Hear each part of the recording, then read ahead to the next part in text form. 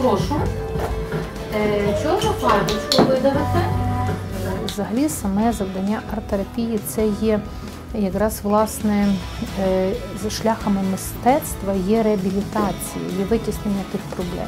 І коли страховий синдром і постстресовий синдром, то його треба опрацьовувати тими, тими методами. Ми вже маємо шостий, шосте заняття.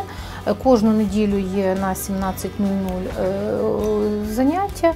Е, Ми працюємо, спілкуємося, е, багато піднімаємо сакральних тем. Це треба спочатку адаптувати, і їм легше це робити, коли вони роблять копійні роботи якісь. Якщо людина е, сидить і малює, і веде пензликом, грає музика, кольори, вона думає про щось світле, їй розповідають якусь цікаву гарну лекцію змістовну.